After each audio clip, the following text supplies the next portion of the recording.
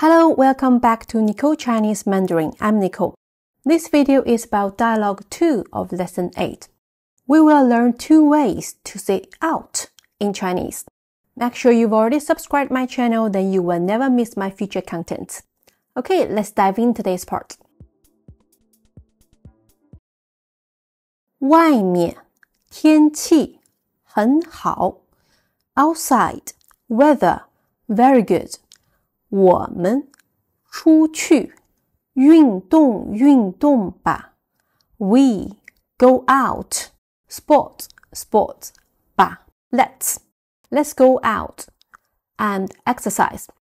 运动 itself means sport or exercise, and double it has the meaning of do these things, do this action briefly or shortly which means you wouldn't spend the whole day, whole afternoon, and it's not a formal football or basketball match.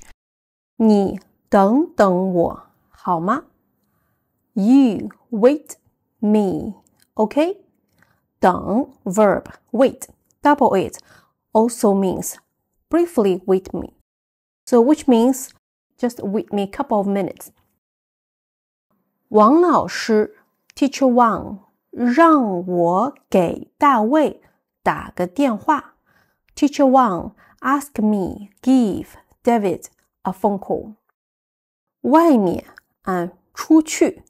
They all has the meaning of out or go out. The difference 外边外 itself is adjective means out. 边 is noun side. They're combined together means outside. But 出 and 去 both of them are verb. 出 means go out. 去 means go. So 出去 is a verb. And 外边 is a noun. And examples 窗外 outside of the window. 国外 outside of the country, abroad.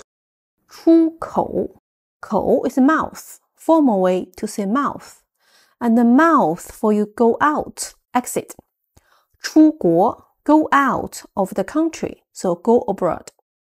给 someone 打电话 give someone a phone call. 让我给大卫打个电话。让 someone do something has the meaning of ask someone, let someone do something.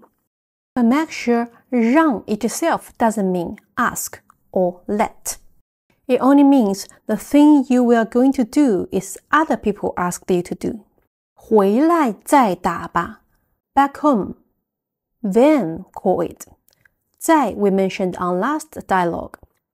Choose the order. So back home firstly, then give the phone call.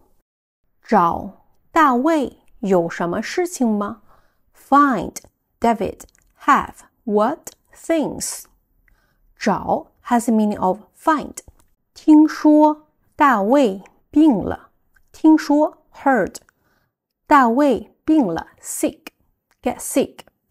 我想 I want，找时间 find time，去看看他。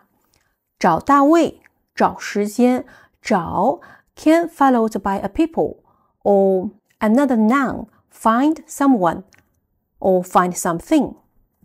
in this dialogue, we have many doubled verbs 运动、等、看.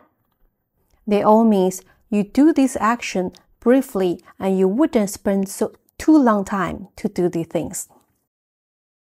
And when we use kan followed by different thing, we have different meaning. When followed by a people has meaning of these people may have some issues.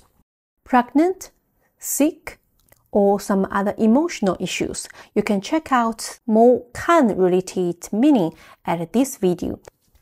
This wraps up today's video. I will see you in next one soon. Bye bye.